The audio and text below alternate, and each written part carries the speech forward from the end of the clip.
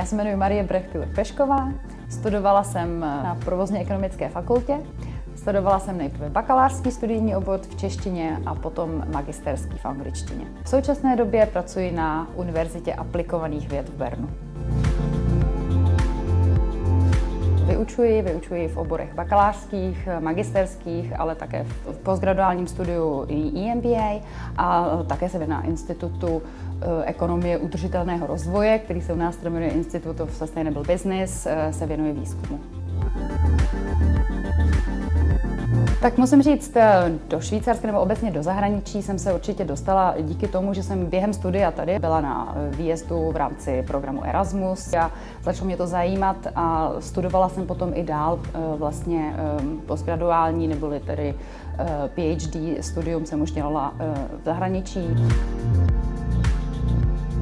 Mě to velké problémy nečinilo, já jsem to vždycky brala jako výzvu a vždycky mě to i bavilo. Určitě mi dalo spoustu věcí. Eh, na jedné straně určitě tu, tu možnost právě podívat se do zahraničí, studovat v zahraničí, dostat se do kontaktu eh, s, se, s profesory, ehm, ale i experty eh, ze zahraničí, vidět právě ten svět i jinými, jinýma očima, z jiné perspektivy.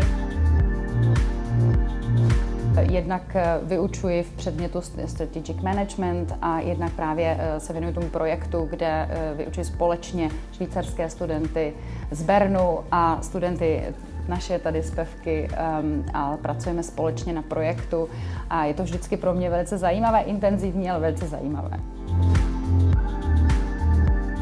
Já vyučuji na University of Applied Sciences, což je vlastně zaměřené mnohem víc na praktickou eh, výuku a praktické dovednosti. Eh, kdežto naše klasické studium české je velice akademické studium.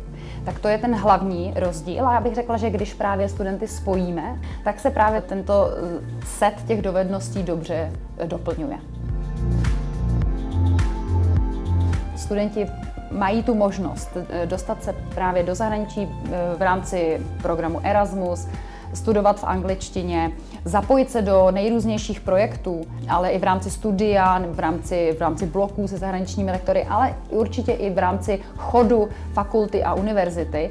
A všechny tyto zkušenosti eh, jim určitě budou v budoucí kariéře k dobru. Takže na jedné straně bych jim určitě vzkázala, berte studium vážně, zapojte se do zajímavých aktivit fakulty a univerzity, ale zároveň užijte si studentský život.